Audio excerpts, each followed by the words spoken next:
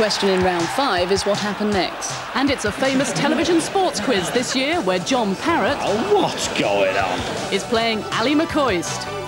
With me, Sue Barker, keeping order over both of them. I haven't finished yet. So, what happens next? I think Robbie Fowler's got the answer. There's a couple of things happening.